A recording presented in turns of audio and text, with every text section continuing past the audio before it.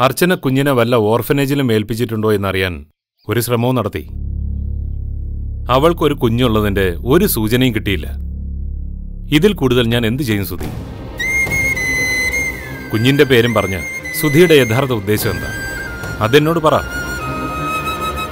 അർച്ചനയുമായി ഇനിയൊരു ബന്ധമില്ലെന്ന് പറയുമ്പോഴും സുധി ലക്ഷ്യമാക്കുന്നത് അർച്ചനയല്ലേ? അല്ലെന്ന് ഞാൻ എന്തിനു പറയണം? എന്നെ സ്വീകരിക്കാൻ അവൾക്കൊരു മനസ്സില്ലെങ്കിലും എനിക്ക് അവളെ ഉപേക്ഷിച്ച് കളയാൻ പറ്റുമോ? ഞാൻ അവളുടെ പിന്നാലെ നടന്ന് ശല്യപ്പെടുത്തുകയാണെന്ന് പരിഹസിക്കുന്നവർക്കൊന്നും അറിയില്ല. അർച്ചന എനിക്ക് ആരായിരുന്നു അവൾ എന്റെ ഭാര്യയാണ് ഒരു പുരുഷൻ ഒരു പെണ്ണിന്റെ കഴുത്തിൽ താലി കെട്ടുന്നത് കുട്ടിക്കളിയാണെന്ന് പൈസ കരുതുന്നുണ്ടോ? സാഹചര്യങ്ങൾ കൊണ്ട് ഞങ്ങൾക്ക് അകന്നു പോകേണ്ടി വന്നു. നിരഞ്ജനയ്ക്കൊപ്പം സന്തോഷത്തോടു കൂടിയുള്ളൊരു ജീവിതമായിരുന്നു എന്റേതെങ്കിൽ നിങ്ങളുടെയൊക്കെ പരിഹാസം കേൾക്കുമ്പോൾ മനസ്സിലൊരു കുറ്റബോധമെങ്കിലും തോന്നിയാണ് എന്റെ കുഞ്ഞ് ജീവിച്ചിരിപ്പുണ്ടെന്ന് തന്നെയാണ് ഞാൻ ഇപ്പോഴും അടിയുറച്ച് വിശ്വസിക്കുന്നത്. അർച്ചന എന്നെ തള്ളി പറഞ്ഞതൊന്നും ഞാൻ കാര്യമാക്കിയിട്ടില്ല വീണ്ടും ഞാൻ അവളെ തേടി പോകാത്തതിനൊരു കാരണമുണ്ട്. അവളുടെ മനസ്സ് മാറണമെങ്കിൽ എന്റെ കയ്യിൽ എന്നിൽ അവൾക്ക് ജനിച്ച കുഞ്ഞുണ്ടാവണം. അതിനുവേണ്ടിയുള്ള കാത്തിരിപ്പില്ല ഞാൻ. പൈസ എനിക്ക് വേണ്ടി ചെയ്തു എന്ന് പറഞ്ഞതൊന്നും ഞാൻ വിശ്വസിച്ചിട്ടില്ല. എന്റെ കുഞ്ഞിനെ പൈസ കണ്ടെത്തിയാൽ തന്നെ അത് എന്നോട് പറയില്ലെന്നും എനിക്ക് മനസ്സിലായി. നിങ്ങളൊക്കെ ആഗ്രഹിക്കുന്നത് എന്താണെന്ന് എനിക്ക് നന്നായിട്ട് അറിയാം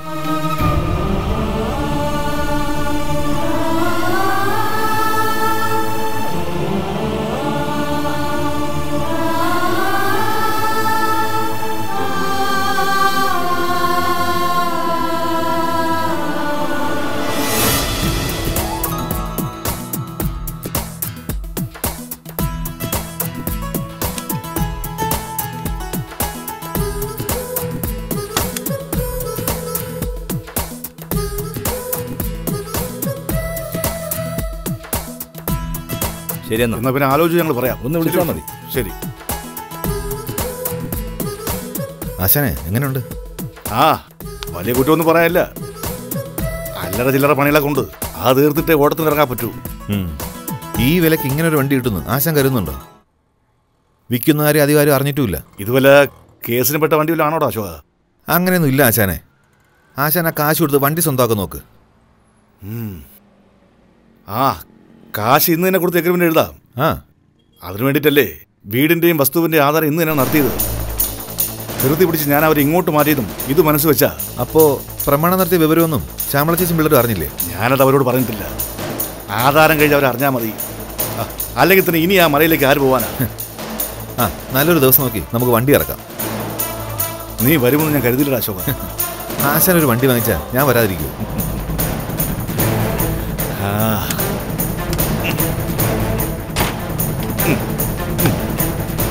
ഇനി എന്റെ ഭാഗ്യമൊക്കെ ഈ വണ്ടിയാടാ.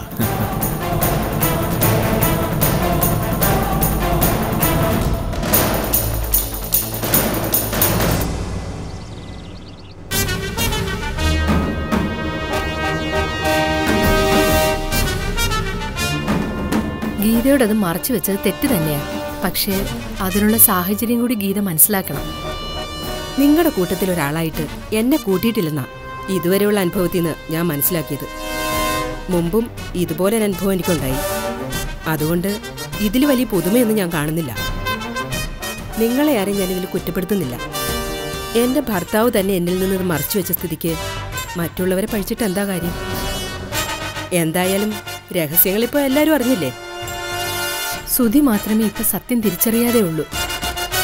അവൻ അത് അറിഞ്ഞു കഴിഞ്ഞാൽ പിന്നെ സംഭവിക്കാൻ പോകുന്ന എന്താണെന്ന് എനിക്കൊരു ഊഹമില്ല സുധിയും നിരഞ്ജനയും തമ്മിലുള്ള ബന്ധം എത്രയും പെട്ടെന്ന് വേർപെടുത്തുന്നതാ നല്ലത്. എന്തിനാ പാവം പെണ്ണിനെ കൂടി ഇതിൽ ബലിയാടാക്കുന്നത്? അവൾക്ക് മറ്റൊരു സ്ത്രീയുടെ കുഞ്ഞിനെ വളർത്തേണ്ട ഒരു കാര്യമില്ല വാസ്തവം തിരിച്ചറിഞ്ഞിട്ടും അവൾ സുധിയെ വിട്ടുപോകാൻ കൂട്ടാക്കുന്നില്ല. സ്വന്തം കുഞ്ഞാണെന്ന് സകലരും വിശ്വസിക്കുമ്പോൾ അവക്കത് മാറ്റി പറയാൻ പറ്റുമോ ഗീത പോലും ഇതുവരെ അങ്ങനെയല്ലേ വിശ്വസിച്ചത്?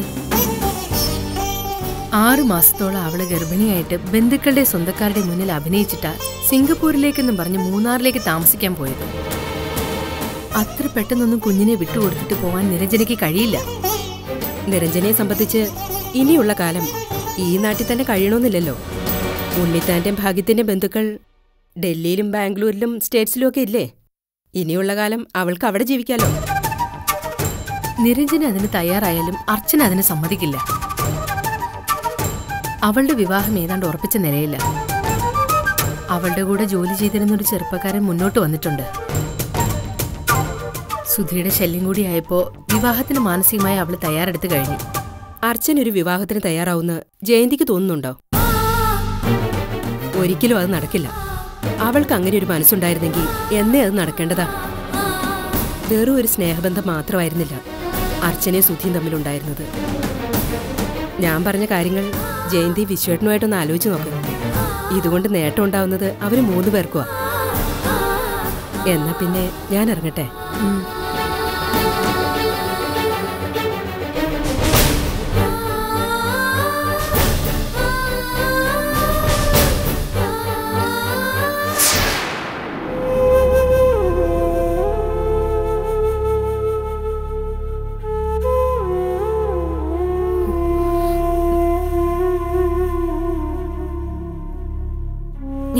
ഞാൻ സംസാരിച്ചോട്ടെ? ആ പെട്ടെന്ന് വേണം. ചേച്ചി. മോൾ എന്തിനാ വന്നത്? എന്നെ കാണാൻ വരില്ലെന്ന് ഞാൻ പറഞ്ഞതല്ലേ? എനിക്ക് ചേച്ചിയെ വന്ന് കാണാതിരിക്കാൻ പറ്റൂ. ചേച്ചി ഇവിടെ കഴിയുമ്പോ എന്നെ ഒന്ന് കാണാൻ ആഗ്രഹിച്ചിട്ടില്ലേ? എനിക്ക് ഇങ്ങോട്ട് സ്ഥലം മാറ്റം കിട്ടി. അവിടുന്ന് മോൾ രക്ഷപ്പെട്ടത് നന്നായി. ഇപ്പോ മോൾ എവിടെയാ താമസിക്കുന്നത്? എല്ലാവരും തിരുവനന്തപുരത്തേക്ക് താമസം മാറി. നമ്മളെല്ലാവരും ഇപ്പൊ ഒരു വാടക വീട്ടിൽ ഒരുമിച്ചാ. അതെന്തായാലും നന്നായി മോളെ. രായപ്പേട്ടന് മോളോട് അലോക്യമൊന്നുമില്ലല്ലോ ഇല്ല. ഇവിടെ വെച്ച് മോൾ സുധിസാറിനെ കണ്ടായിരുന്നോ? ഞാൻ ഇവിടേക്ക് വന്ന വിവരം സുധിക്ക് അറിയില്ല. മോൾ സുധിസാറിന്റെ നാട്ടിലേക്ക് വന്നതിൽ കാർത്തി ചേച്ചിക്ക് സന്തോഷമേ ഉള്ളൂ. എന്നിട്ട് മോനെ ഒന്ന് കാണാനുള്ള അവസരം മോൾക്ക് കിട്ടിയായിരുന്നോ? ഒരിക്കൽ അങ്ങനെ ഒരു അവസരം ഉണ്ടാവും ചേച്ചി. ചേച്ചിക്ക് ഇവിടെ കടുത്ത ട്രീറ്റ്മെന്റ് ആണോ ഉള്ളത്? അതാ മോളെ സഹിക്കാൻ കഴിയാത്തത്. എനിക്ക് രോഗമില്ലെന്ന് പറയാൻ പറ്റുമോ ഒരു രോഗമില്ലാത്ത എന്നെ ചികിത്സിച്ച് പ്രാന്തിയാക്കും മോളെ. നമുക്ക് എന്ത് ചെയ്യാനാവും ചേച്ചി? കേസിന്റെ കാര്യങ്ങളൊക്കെ ഫൈസ സാർ നോക്കുന്നുണ്ട്. എത്രയും വേഗം അതിനൊരു തീർപ്പുണ്ടായാൽ മതിയായിരുന്നു. ഞാനിപ്പോ അതേപ്പറ്റി ഒന്നും ചിന്തിക്കുന്നില്ല. ഇത് തന്നെ വലിയൊരു ശിക്ഷയല്ലേ? ചേച്ചി ഇങ്ങനെയൊക്കെ അനുഭവിക്കുന്നത് കാണുമ്പോ ഞാൻ എങ്ങനെ പുറത്ത് ജീവിക്കും? എനിക്ക് വേണ്ടിയല്ലേ ചേച്ചി ഇതൊക്കെ സഹിക്കുന്നത്? ഇനി ഇതേപ്പറ്റി മോൾ ഒരു അക്ഷരം പറഞ്ഞു പോകരുത്. ഞാൻ ചെയ്ത വലിയൊരു തെറ്റിന്റെ ശിക്ഷയായത്. ഞാൻ തന്നെ വേണേ ഇത് അനുഭവിക്കാൻ. ഇതിൽ ആർക്കും ഒരു പങ്കുമില്ല. ഇനി മോൾ എന്നെ കാണാൻ വരരുത്. മോൾ വന്ന ഞാൻ ഇനി പുറത്തേക്ക് വരില്ല. ചേച്ചി. തലയ്ക്ക് സ്ഥിരതയില്ലാത്ത ഇവരോട് എന്ത് സംസാരിക്കാനാ? ആ മതി വാ പോകാം. എന്നെ ഇനി കാണാൻ വരല്ല കേട്ടോ. ചേച്ചി. വാ ഡോക്ടറെ നമുക്ക് പോവാം. നീ പൊയ്ക്കോ. വാ. ഡോക്ടർ എന്നെ ചികിത്സിച്ചാ മതി. വാ ഡോക്ടർ നമുക്ക് പോവാം. നടക്ക.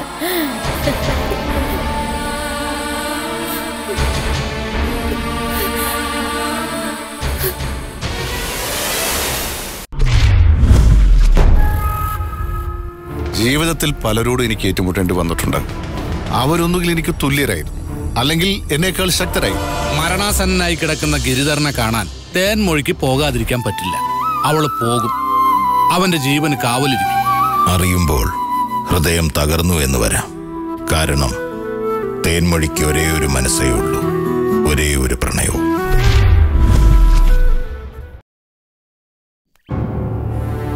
ഇപ്പോഴാ തിരുവനന്തപുരത്തേക്കൊന്ന് വരാൻ പറ്റിയത്. എങ്ങനെ പോകുന്നു നിരഞ്ജന? ജീവിതമൊക്കെ? ഉണ്ടായിരുന്ന മനസ്സമാധാനം കൂടി ഇല്ലാതായി. അത്ര തന്നെ. അർച്ചന തിരുവനന്തപുരത്ത് വന്നപ്പോഴേ ഞാനത് പ്രതീക്ഷിച്ചതാണ്. അവർ തമ്മിൽ കണ്ടു അല്ലേ? അർച്ചന ഇങ്ങോട്ട് വന്ന വിവരം സുധി ഇതുവരെ അറിഞ്ഞിട്ടില്ല. സുധിയുമായിട്ട് അർച്ചനയ്ക്ക് ഇപ്പൊ ഒരു ബന്ധമില്ലെന്നാണ് ഇതിന്ന് മനസ്സിലാക്കേണ്ടത്. പിന്നെ നിങ്ങളുടെ വിവാഹം നീണ്ടുപോവാണല്ലോ അർച്ചന ഇങ്ങോട്ട് വന്ന നിലയ്ക്ക് ഇനി അതിനെന്തെങ്കിലും തടസ്സമുണ്ടോ? ഞങ്ങളുടെ വിവാഹം നടക്കുന്ന പ്രതീക്ഷയിലാണല്ലേ? ഇപ്പോഴും നിരഞ്ജന. എന്താ ഇപ്പോ രാജീവിന് അങ്ങനെ ഒരു സംശയം? അതിനൊരു കാരണമുണ്ട്. നിരഞ്ജനയിൽ നിന്നും ഞാനത് ഒളിപ്പിച്ചു വെക്കുന്നില്ല. സുധി അർച്ചയുടെ പിന്നാലെ നടന്നതിൽ വ്യക്തമായൊരു കാരണമുണ്ട്. പക്ഷേ ഞാനതറിയാൻ കുറച്ച് വൈകി. അവിടുന്ന് ട്രാൻസ്ഫറായി പോകാൻ നേരത്തെ അർച്ചന അതെന്നോട് പറഞ്ഞത്. അവളെന്താ പറഞ്ഞു? എന്റെ ഈ വെളിപ്പെടുത്തൽ നിരഞ്ജയുടെ ജീവിതത്തെ എങ്ങനെ ബാധിക്കുമെന്ന് എനിക്കറിയില്ല. എന്തായാലും രാജീവൻ പറ. അത് അർച്ചനയിൽ ശ്രുതിക്കൊരു കുഞ്ഞുണ്ട്. അവൾ തന്നെ എന്നോട് ഇത് പറഞ്ഞത്. എന്നിട്ടാ കുഞ്ഞെവിടെ? അതേക്കുറിച്ചൊന്നും വ്യക്തമായി അവൾ എന്നോടൊന്നും പറഞ്ഞില്ല. കുഞ്ഞ് അവളുടെ കയ്യിൽ നിന്നും എങ്ങനെയോ നഷ്ടപ്പെട്ടെന്നാണ് ഞാൻ കരുതുന്നത്. സുധിയുടെ വിവാഹം കഴിഞ്ഞതോടെ പിന്നെ അയാളുമായ ഒരു ബന്ധത്തിനും അർച്ചന തയ്യാറായില്ല. അവൾ ആ ചാപ്റ്റർ എന്നേക്കുമായി അവസാനിപ്പിച്ചും കഴിഞ്ഞു. കുഞ്ഞ് ജനിച്ച വിവരം സുധിയോട് അർച്ചന പറഞ്ഞു? സുധിക്കത് അറിയില്ല വലിയൊരു ട്രാജഡിയാണ് അവരുടെ ജീവിതത്തിൽ സംഭവിച്ചത്. അതിനെ ഒരു പഴയ ബന്ധമായിട്ട് മാത്രം കണ്ടാൽ മതി. പക്ഷേ ഇനിയാണ് നിരഞ്ജന കൂടുതൽ ഭയപ്പെടേണ്ടത്. ഞാൻ രാജീവിനെ കാണാൻ ആഗ്രഹിച്ചത് തന്നെ അതുകൊണ്ടല്ലേ. രാജീവിനുമായിട്ടുള്ള വിവാഹത്തിന് താല്പര്യമില്ലെന്ന് അർച്ചന പറഞ്ഞുവെന്നാണ് എനിക്കിപ്പോൾ അറിയേണ്ടത് അവളെക്കുറിച്ചുള്ള വിവരങ്ങൾ പറഞ്ഞതല്ലാതെ വിവാഹത്തിന് താല്പര്യമില്ലെന്ന് അർച്ചന പറഞ്ഞില്ല. അർച്ചനയ്ക്ക് വിവാഹത്തിന് താല്പര്യമുണ്ടെങ്കിൽ രാജീവിന്റെ മനോഭാവം എന്താ? സുധിയുടെ മുന്നിൽ വെച്ച് രാജീവിനുമായിട്ടുള്ള വിവാഹത്തിന് സമ്മതമാണെന്ന് അവൾ പറഞ്ഞതല്ലേ? അന്ന് പറഞ്ഞു. പക്ഷെ അർച്ചന പിന്നീട് പറഞ്ഞ വിവരങ്ങൾ അമ്മയോട് പോലും ഞാനിതുവരെ പറഞ്ഞിട്ടില്ല. എനിക്കത് മനസ്സിൽ കൊണ്ടു നടക്കാനേ കഴിയും. എന്ത് ചെയ്യണമെന്നൊരു തീരുമാനത്തിലെത്താൻ എനിക്കിപ്പോഴും കഴിഞ്ഞിട്ടില്ല. അർച്ചന അവളുടെ മനസ്സ് തുറന്നപ്പോ രാജീവൻ നിശബ്ദനായി അല്ലേ ആ വിവാഹവുമായി ഒരുപാട് ദൂരം രാജീവ് മുന്നോട്ട് പോയതല്ലേ? അതെ.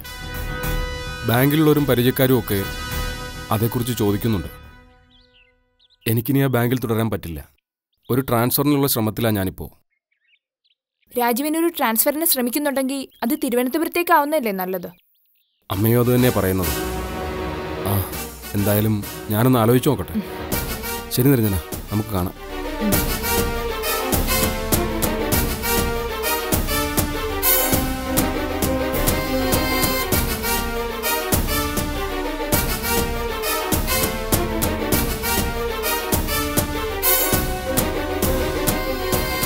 വെളുപ്പിന് എഴുന്നേറ്റ് പോയതല്ലേ നിങ്ങൾ? എവിടെയായിരുന്നു ഇത്രയും നേരം?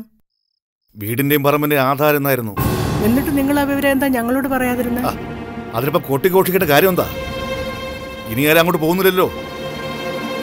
ഉടനെ ആധാരം നടത്തണമെന്ന് ആവശ്യപ്പെട്ട് ഒരു കൂട്ടർ വന്നാ പിന്നെ നോക്കിയിരിക്കേണ്ട കാര്യം എന്താ? അത് ശരി. അപ്പൊ ഇതിനായിരുന്നല്ലേ ഞങ്ങളെ പെട്ടെന്ന് ഇങ്ങോട്ട് കൊണ്ടുവന്നത് അതിന്ന് രേവതിക്ക് ഒരു ഷെയർ കൊടുക്കണ്ടേ ചിറ്റപ്പ? അവൾക്കൊരു അഞ്ചു ലക്ഷം രൂപ കൊടുക്കണം. അതല്ലേ കല്യാണത്തിന് മുമ്പ് അവനോട് പറഞ്ഞേ. അത് ഇതുമായിട്ട് കൂട്ടേണ്ട കാര്യമില്ല. ഇത് അവളുടെ ഷെയർ അല്ലേ എത്ര ലക്ഷം രൂപയ്ക്ക് നിങ്ങൾ വീട് വിറ്റത്? അത് നീ അറിയേണ്ട കാര്യമില്ല. രേവതിക്ക് കൊടുത്തിട്ട് ബാക്കി പൈസ കൊണ്ട് എവിടെയെങ്കിലും ഒരു അഞ്ച് സെന്റ് ഭൂമി വാങ്ങിക്കാൻ ചിറ്റപ്പ നോക്കണം. ലോൺ എടുത്തോ മറ്റോ നമുക്ക് അവിടെ ഒരു വീട് വെക്കാം. അതൊന്നും ഇപ്പോൾ നടക്കുന്ന കാര്യമല്ല. ബാക്കി കാശ് കൊണ്ട് ഞാനൊരു ലോറി വാങ്ങാൻ ഉദ്ദേശിക്കുന്നത് അച്ചുവേച്ചി പറയുന്ന അച്ഛൻ കേൾക്കണം. അച്ചോച്ചി പറയുന്നത് കേൾക്കാൻ ഞാൻ എന്താണ് ഇവളോട് അടിമയോ? ഞാൻ എന്റെ ജീവിതമേ ആർക്കും തീരെഴുതി കൊടുത്തിട്ടില്ല. ഒരുത്തികളും പറഞ്ഞത് കേട്ടുള്ള ശീലവുമില്ല. അത് അച്ഛന്റെ സ്വത്തായിരുന്നെങ്കിൽ ആര് പറയുന്നതും അച്ഛൻ കേൾക്കണ്ടായിരുന്നു. പക്ഷെ ആ വീടും പറമ്പും അങ്ങനെ ഉണ്ടായതല്ല. അത് അച്ഛൻ മറന്നു കളയരുത്. ആ വീടും പറമ്പിലും അധികാരം അച്ചുവച്ചിക്കാം അഹങ്കാരി. അധിക പ്രശ്നം പറഞ്ഞോടി വേണ്ട. വേണ്ട ചിറ്റപ്പ. ഇവൾ അവിവേകം കൊണ്ട് പറഞ്ഞു പോയത്. അവിവേകമല്ല ഇവൾ പറയുന്നേ. അവൾക്ക് പറയാനൊരു അവസരം നീ ആയിട്ടുണ്ടായി കൊടുത്ത. പിന്നെ ആ എസ് പി കുറച്ച് കാശ് തന്നിട്ടുണ്ടെങ്കിൽ അത് എന്റെയും പിള്ളേരുടെയും ജീവിതത്തിന്റെ വിലയാ. ഇനി ഇതുപോലൊരു വാചകം പറഞ്ഞാലുണ്ടല്ലോ.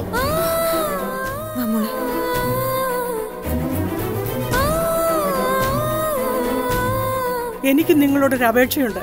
അർച്ചന കൂടി ഇവിടെ ഉള്ള നിലയ്ക്ക് അവളെ കുത്തി നോവിച്ചൊന്നും പറയരുത്. എന്റെ വീട്ടിൽ എന്റെ ശബ്ദം മാത്രം ഉയർന്നാൽ മതി. അതനുസരിക്കാൻ കഴിയുന്നവർക്ക് മാത്രം ഇവിടെ ജീവിക്കാം.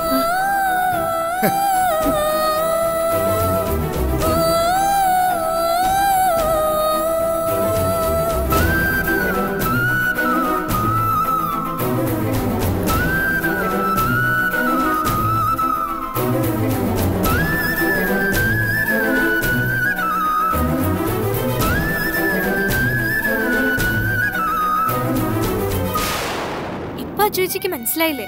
അച്ഛന്റെ സ്വഭാവം മാറിയെന്ന്. ഇനി അച്ഛൻ ഓരോന്ന് പറയും. കേൾക്കുമ്പോ വിഷമാവുകയും ചെയ്യും. മോൾ അങ്ങനെ പറഞ്ഞിട്ടല്ലേ ചിറ്റപ്പൻ ദേഷ്യപ്പെട്ടത്? രേവതിക്ക് കൊടുക്കാനുള്ളത് കൊടുത്തിട്ട് ചിറ്റപ്പൻ എന്ത് വേണമെങ്കിലും ചെയ്തോട്ടെ.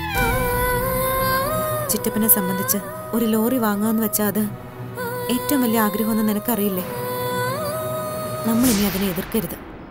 എല്ലാം അറിഞ്ഞ് സംസാരിക്കുമ്പോ പഴയ കാര്യങ്ങൾ ഓർമ്മപ്പെടുത്താതിരിക്കാൻ എനിക്ക് കഴിയില്ല. അച്ഛൻ ഹോസ്പിറ്റലിൽ കിടന്നപ്പോ ചികിത്സയ്ക്കായി രണ്ടു ലക്ഷം രൂപ അച്ചുവച്ചിക്ക് ചെലവായില്ലേ?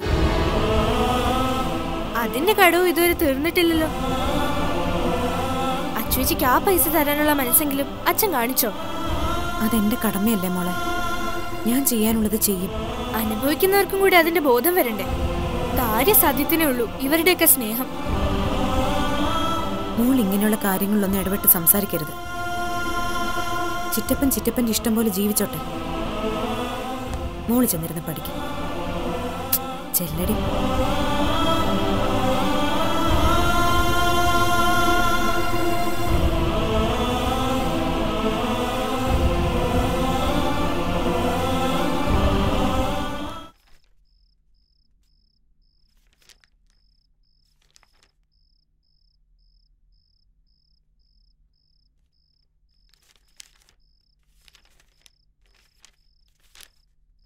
ഞാനൊരു കാര്യം പറഞ്ഞ വിഷ്ണുട്ടൻ ദേഷ്യപ്പെടുവോ? എന്താന്ന് വെച്ചാ പറ.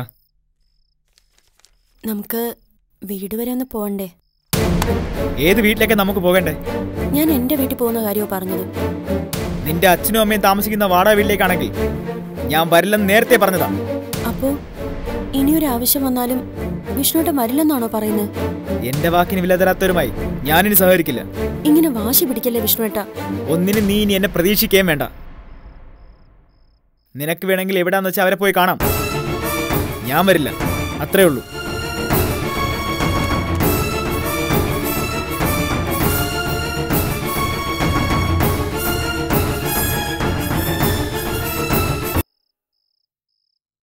ആ ബാങ്കിലേക്ക് അധികം ദൂരമൊന്നുമില്ല.